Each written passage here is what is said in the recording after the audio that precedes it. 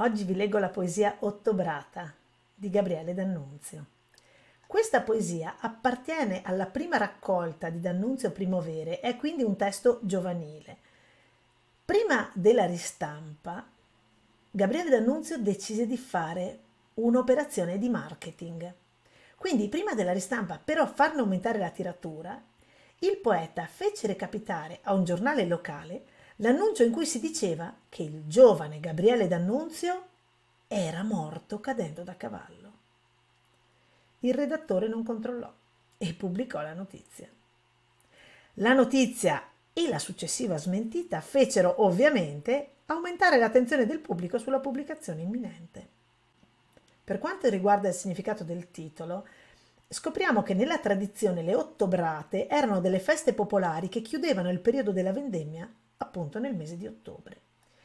Per celebrare il raccolto si organizzava quindi una gita fuori porta, ma da ogni rione partivano delle carrette adornate di campanacci su cui si sedevano le ragazze.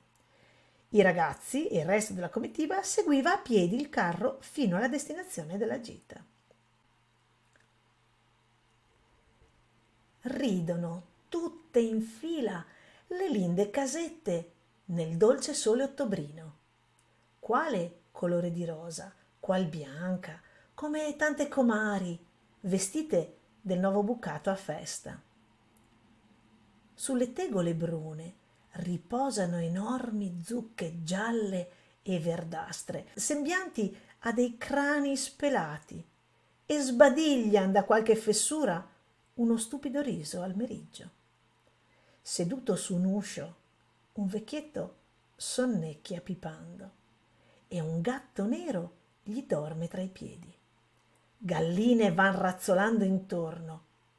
Si sente il rumor della spola ed una culla al ritmo di lenta canzone. Poi voci fresche di bimbi, risa di donne, poi brevi silenzi. Il bel vecchietto russa inclinato sull'omero il capo bianco nel sole. Io guardo la placida scena e dipingo.